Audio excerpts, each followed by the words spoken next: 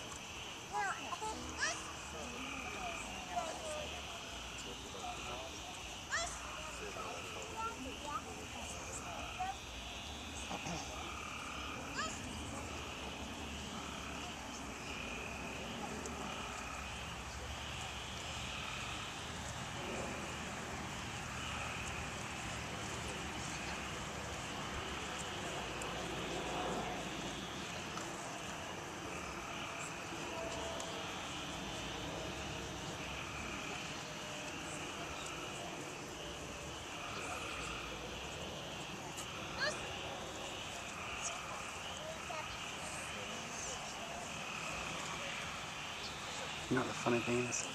He bounces just like his daddy.